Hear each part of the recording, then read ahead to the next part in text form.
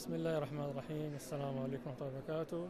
حياكم الله في آه، جناح جمعية زمزم. معكم أخوكم محمد الصليفي آه، من جمعية زمزم للخدمة الصحية التطوعية بمنطقة مكة المكرمة. طبعا جمعية زمزم آه، تقدم الخدمات العلاجية الصحية للمحتاجين في منطقة مكة المكرمة. تعمل الجمعية على عدة برامج.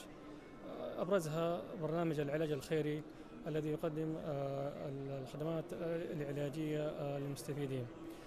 آه، طبعا جمعية زمزم من الجمعيات الرائدة في العمل المؤسسي. وبفضل الله تعالى تعمل الجمعية منذ تأسيسها على الخطط الاستراتيجية وحاليا الخطة الاستراتيجية ممتدة مع رؤية المملكة إلى 2030 مشاركتنا في مؤتمر الأوقاف في المدينة جمعية زمزم لديها فكرة ريادية. آه، عمل آه، صيدليات وقفية حيكون آه، مقرها في منطقة في مكة المكرمة في المنطقة المركزية.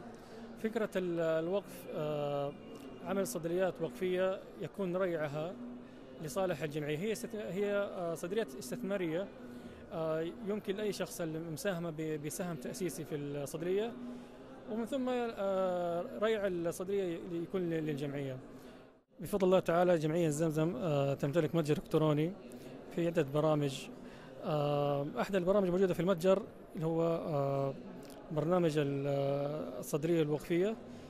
في عدة أسهم يمكن لأي شخص يعني يدخل المتجر ويشارك بسهم تأسيسي في الصدرية.